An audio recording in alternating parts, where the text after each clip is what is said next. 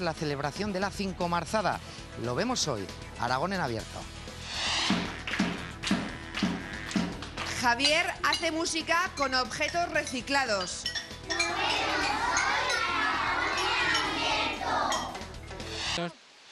Mi mamá no me trae un melocotón para merendar, que me trae un tetrabric y lo tiro a la basura o lo que es peor al suelo cuando ya me lo he bebido en el recreo.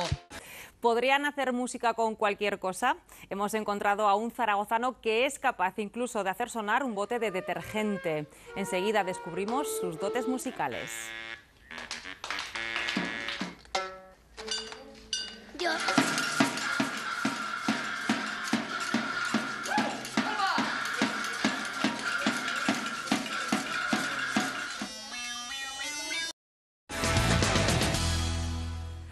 bote de detergente, una lata de galletas o un trozo de plástico. Javier recicla cualquier cosa y la convierte en un instrumento musical. Hemos asistido a una de sus especiales clases de música.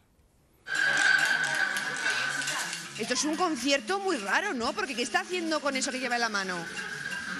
Pues está ha cogido objetos que había tirados y pues los ha reutilizado. Ah, los ha reutilizado para hacer instrumentos, pero... Los ha reutilizado y ha hecho instrumentos con ellos. pero ¿Eso es una lata de pintura? Sí. La, ha utilizado, la ha recogido y la ha utilizado para hacer un instrumento y que suene. Pero, ¿os gusta esto? Sí. Sí. ¿Sí? La verdad es que es muy chulo, ¿verdad? Porque suena a los Rolling Stone. Sí, sí, es verdad. De tanto instrumento reutilizado, hace un sonido muy bueno. Cajas de lacasitos, del detergente, vidrios encontrados en la basura. Un profesor de música muy poco ortodoxo, Javier. Bueno, no, eh, no es tan ortodoxo porque ya hay gente que, que hace cosas como lo que hago yo. Se trata de concienciar a los niños y a la gente en general de que somos el animal que más residuos produce desde que nos levantamos hasta que nos acostamos. Y eso es una forma, aparte de reciclar, también es una forma de que los niños vean los instrumentos y la música de una forma más divertida y más atractiva. Sí, también eh, que vean los instrumentos en su, en su origen, dijéramos. No son instrumentos perfeccionados como los vemos en la orquesta, pero es mucho más importante el origen que han tenido el, un clarinete, que es un tubo con una, una lengüeta simple batiente, que puede ser una caña, en este caso un tubo de plástico, eh, y eso ha sido más importante que luego su evolución.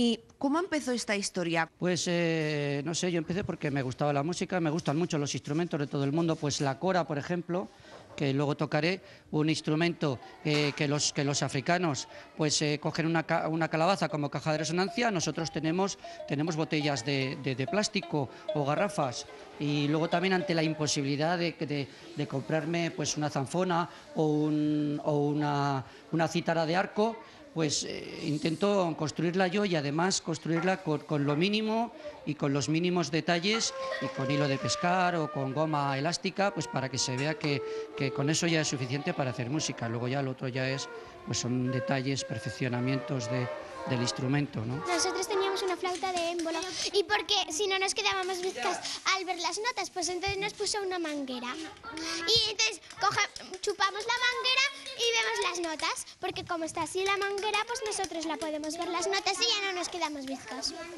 Así que hace la música divertida. Sí. ¿Sí? ¿Os gusta lo que hace? Sí, mira lo que ha hecho. A ver, a ver qué ha hecho. Una o algo así y, y luego ha puesto aquí... ha marcado una cosa y, aquí ha puesto un hilo, lo ha atado a un palo y, y y, esto lo ha doblado y ya está hecho. ¿Y cómo suena? A ver cómo suena. Con una lata de pasta y todo, pero Javier, oye, ¿os gusta lo que hace Javier? Sí. Bueno, y es que utilizas todo lo que hay alrededor y tenéis hasta un himno. Hasta un himno para el reciclaje, que hay que reciclar. A ver, Paula. Un himno, pues vamos, lo cantamos todos juntos, chicos, el himno de reciclaje. Pues venga, vamos a ello. Mi mamá no me trae un melocotón para merendar, que me trae un tetrabric y lo tiro a la basura o lo que es peor al suelo cuando ya me lo he bebido en el recreo. Oye mamá, oye papá, guárdame un ratito el paquetito. Oye mamá, oye papá, para llevarlo hasta el depósito amarillo. Oye mamá, oye papá. Así seguro que no se les olvida.